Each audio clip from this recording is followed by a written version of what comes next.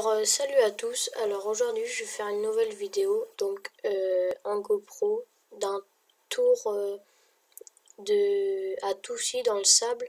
Mais je sais pas ce qui s'est passé, le tour il est pas entier en fait. On a les trois quarts du tour et après ça s'arrête. Donc voilà désolé. Allez salut. Bonne vidéo